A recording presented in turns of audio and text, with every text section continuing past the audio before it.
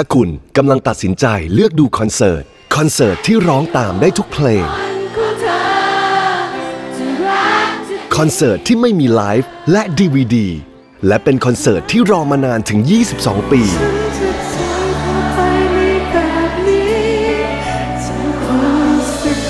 Rhythm of Beau